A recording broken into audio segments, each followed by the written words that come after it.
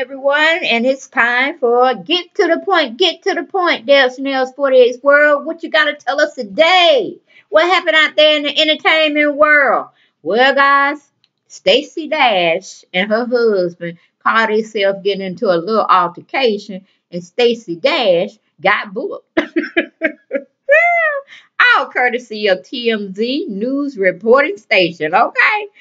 Child Stacey Dash put hands on her husband, and then she called 911 thinking they gonna help her out by reporting the incident, and they came to her defense in a sense to see what she was talking about as far as this 911 call, talking about her husband put her in a chokehold and she had to defend herself. Well, you tell me why. Why oh why? Both of them didn't get arrested because that's what they usually say. If they see physical evidence on both parties have did something to one another, then doggone it, everybody going to jail. Not the kids, of course, but the two adults that were privy to being in that altercation. But it seems like they just escorted Miss Dash, or I don't know what her last name is. Marty something. Well, her husband's name is Marty. But we're just going to keep it as Stacey Dash because this is her fourth marriage, from what I'm understanding. So it probably would be uh, a time going further, more likely in the near future, they might get a divorce because she just don't have a good track record in marrying folks. And it she seems like she got a little bit of Kenya Moore in her, where she date black but marry white. Even though she was married to Christopher Williams, he's a little R&B singer. Hadn't heard much from him lately, but I believe they were married at one time. That's not your food, Jaden. Stop. And uh, so she did get married to a black man, but I guess she said once you go white, you just don't go back dog. Okay, I don't know. I don't know. But that's not even the subject we're talking about. We're talking about Stacey Dash got locked up, okay? She got locked up trying to defend herself. The whole purpose was they must have got into some fist, well, not a fist fight, but they got into an argument. It seems like maybe his child, meaning her husband, had uh, jumped in her face. She didn't like it. She had gotten her personal space. So Stacy said she pushed her off of her or pushed her away from her. And I guess the husband came in and jumped in because that was his biological child from another um from another marriage or, or relationship. And he just didn't feel like I guess Stacey should be pushing on his child. Well, really it's her child too, because they got married. Then they say stepmom, stepdad. Okay, but maybe that's not it. That's not how they're seeing it at this time. So basically, Stacy jumped on the phone, called the Popo. Popo was like, okay, give me as much brief information as you can. We got some patrol officers coming to your assistance, okay? So when they got there, they looked at the situation. They saw more marks on her husband than they saw on Stacy. And they said, okay, you come on with us. All polite and everything. If you go to TMZ, they'll show you all the video footage you would want to have. They show uh, the police officer being very nice to her and whatnot, even though he got her hands behind her back in handcuffs. Which I'm like, if you want to just do all that, he could at least took the girl uh, handcuffs off, you know, because she wasn't violent to nobody else. She was just trying to put hands on her husband, okay? And um, they locked her up in a police car, and I guess they talked with her. But it seems like they did take her to the police station. And from what I'm reading off and on from these different bloggers that have the information out there and they're trying to post their stories uh, as well, she got booked on a simple battery. So I don't know if that's a misdemeanor in a sense or could that be considered as a felony as well? Because she's in the state of Florida where I think all this happened. But I'm like, girl, you ain't Kenya Moore. I tell y'all like them white men, honey. But you can't be going up beating up on them. They too light. They show real quick evidence of foul play. You know what I'm saying? So uh, you might have was trying to scratch him while he had you up in that chokehold, but he made sure he didn't leave no prints around your neck. Okay, because you kind of light. They could have saw some real evidence of some uh, uh, a real strong chokehold or some bruises or something, but maybe he was lightly uh, choking you. I don't know if that's a um, something you can do. I mean, I guess you can do it when you're having sex, you know, but then I, I don't know because that's, you know, that's like SMM and all that stuff. Okay, I don't get into that rough sex. I, I, like it smooth and soft, smooth and soft. But um, most people like it hard, wild, and and and just crazy, you know, shaking from uh, chandeliers and throwing up against the wall. Nope, got bad back, got bad knees. Can't be doing all that. Okay, but anyway, I was being extra then one. I okay, too much information. Let's get back to the story. Okay, so that's my take on it. I feel like, hey, you put hands on me, I'm gonna put hands on you, and we just gonna go down fighting, okay? But of course, I'm a little darker than Stacy, but evidently they didn't find no evidence that he did any forced trauma to her. So I guess that's why they took her to jail. So I tell everybody, don't put your hands on nobody. If you feel like you got to put your hands on somebody, just walk away. Get your purse or get your wallet. Get on in your car or take a walk somewhere where you could just, you know, uh, let cooler heads prevail. Because there ain't nobody got time for leaving no kids up in no foster care or eh, with your parents and stuff while you sitting up in the popo click clank cell. Okay, where it's very small. You can't move around without getting dizzy and trying to figure out how the hell you got in this situation. Okay. Okay, but we're gonna go to the article that was written by one of TMZ TMZ journalists. Don't really give the name, it just says staff journalist. Okay, so we're gonna go with the title. It says Stacy Dash 911 call. My husband put me in a chokehold. That's what the article said. But hell, you should have put him in a chokehold because you the one got arrested. I mean, do something to somebody to make you want to get arrested and probably booked and sentenced. And then you're to have to have a, a court trial. Okay, do something that's worth it. The work going and sitting in that little bitty what a nine by nine cell or something, nine by eleven cell. I, I don't know, but it's got from the pictures. See, I ain't never been to jail. I'm too pretty and too scared to go up in there. All right, I will cower down. We talking about putting me in some handcuffs and, and sending me where the boats, the dead boats, go clunk and you can't get out on your own. Nah, I can't do that. I can't do it. no, no, just put me in the grave then, because I'm gonna die. I'm telling I'm gonna die. But anyway.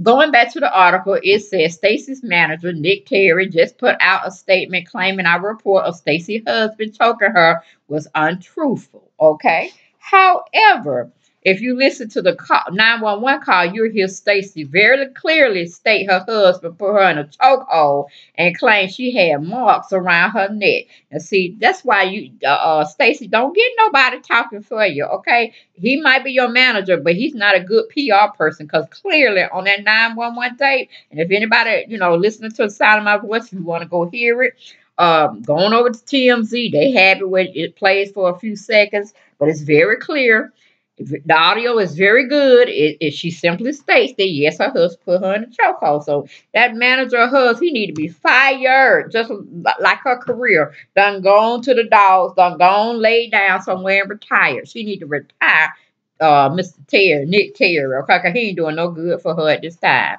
Woo! And her husband that she uh called herself scratching up and you know getting her put behind them bars He's a lawyer himself. I don't know if he's an entertainment lawyer, he's a trial lawyer, he's a criminal lawyer.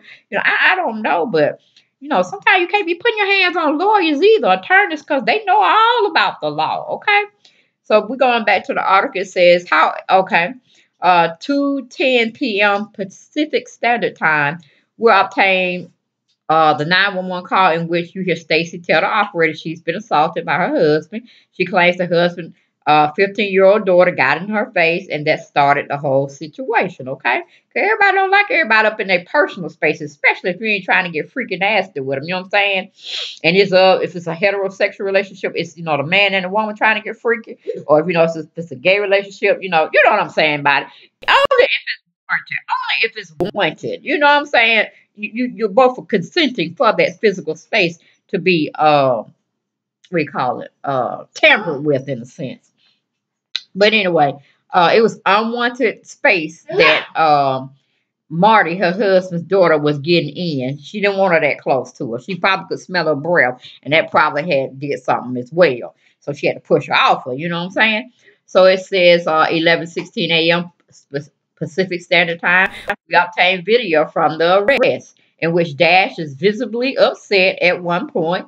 The officer strikes up a conversation with Stacy, asking where she was or where she was from and what she does for a living. Stacy reveals she's an actress, starring Clueless, because uh, that's pretty much what's her fame to claim. I don't know why she didn't say that, which was more recent. Um, her political stinks in you know Congress and, and, and trying to do uh commentary. She was a correspondent, I think, for NBC, CBS. Hell, I don't know, but I know she was trying to talk about uh she was trying to talk about uh, politics and things of that nature, and she wasn't doing too. She wasn't doing good at all. She wasn't doing good at all. Then she was up there with the president, uh, smoozing with him, and we know he ain't made America great yet. He has not made America great. He promised, but he lied. Okay, he didn't keep up with that promise campaign promise he made to the people.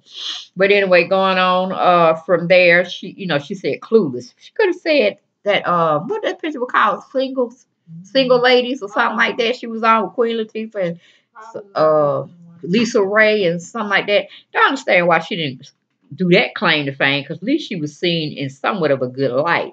Clueless, that was like a little, um, we call it childhood type sitcom that was on featuring her and I forgot the other little girl name, but it was like a, a sitcom for young people. And um, then she was what else she was on? I think she was in Mo Better. No, it wasn't no Mo Better Blues, but it was some kind of uh urban type movie she was in. And uh, you know, trying to make her way through the acting scene, but nothing really lately. And she should have just said she's a, a what do you call it? A normal, everyday uh, working, hard American working citizen. That would have been best because the man act like he still didn't know who she was. He said, Oh, you're an actress. Oh, cool, cool, cool. And he ain't heard from her. He's young enough to have heard from her. But, you know, like I said, if he's not into entertainment, he probably wouldn't know who she is or he would have known who she was when he came to her front door still. Okay. But moving on back to the article, it said um 1021 a.m. Pacific Standard Time, a source close to Dash tells TMZ she acted in self-defense.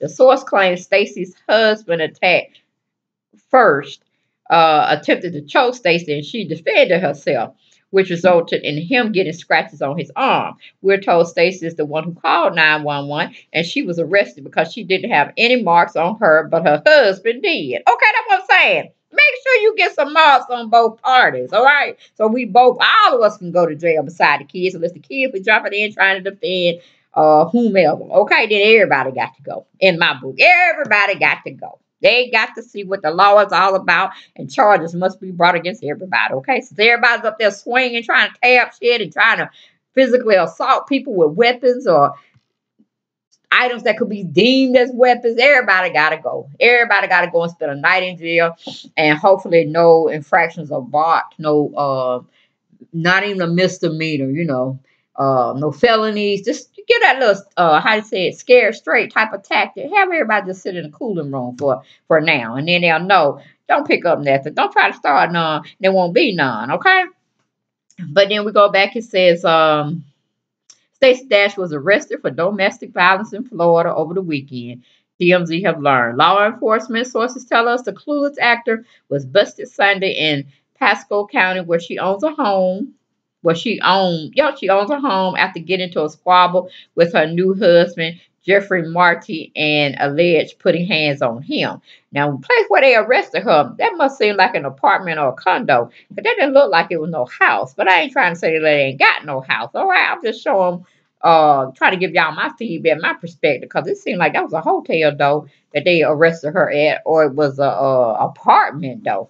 But like I said, I don't live in Florida, so everything may be a little, you know, looking a little different than what I'm used to. Okay, so don't fault me on that one.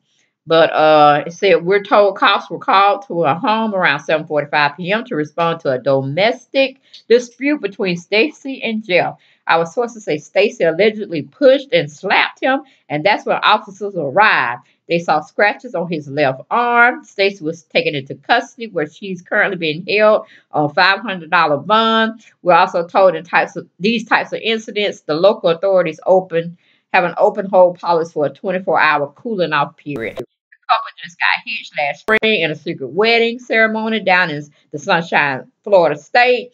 Not much is known about her hubby of one year other than the fact that he's a lawyer is Stacy's fourth marriage. Okay? I'm like, Stacy, you don't struck out, baby. And that that uh last marriage you got don't put you in the complaint. Don't put you in a holding cell. They put you in there just to cool you off. And then you had to call the popo to come and give you a ride to the jailhouse when you should just roll on down there yourself. Say, where's your empty uh cell that I can rest my head? I can rest my head in my body because I just assaulted my husband. He just got some scratches on him. Uh, can my bail be just a dollar? Don't charge me five hundred because I ain't get nobody to come and give me no escort. I just drove my behind on down here because I know how Pasco County get down. Y'all gonna lock up the first person that have the mug. So here, lock me up, give me the handcuffs. I can put them on myself. Show me where I need to reside for uh 24 hours, and then let me out. Just you know, I want my breakfast. You know, tell me what you want for breakfast and all that good stuff. But Lord, I'm just laughing about this. Cause I, I have never heard of such a mess where it is good that you separate the two because nothing was really done so uh massive that it could be forgiven. It could be seen like, okay, y'all need to go to anger management classes. Okay, y'all seriously can't be putting hands on each other because it could be leading to something much much worse. So I'm gonna take your wife, or better yet, let me take you on down there to the complaint. I ain't gonna we just gonna type it up, but it ain't gonna be on your uh record. Okay, in case anything come up, like you trying to get a good job or you trying to get some high clearance in the military or whatever, they ain't gonna see it. They ain't gonna see this little slap on the wrist type of infraction. But I need to take one of y'all. I ain't coming back 24 hours later and somebody be dead up in here or somebody need to go to the hospital because they missing a limb. You see what I'm saying? So which one of y'all want to go? That's how I would have did it, you know. But hey, it ain't me. I ain't no officer of the law, and you know, I guess they had to pay her for them using uh public community service type vehicles. but that was a expensive ass ride and a expensive ass hotel stay in the clank, if you know what I mean. But that's all I have for this video. Y'all get down in them comments. Y'all tell me what y'all thought about this mess of a mess of a situation. Okay. And I would definitely love to hear from you all. But that's all I have for this video. Talk to you soon. Bye-bye.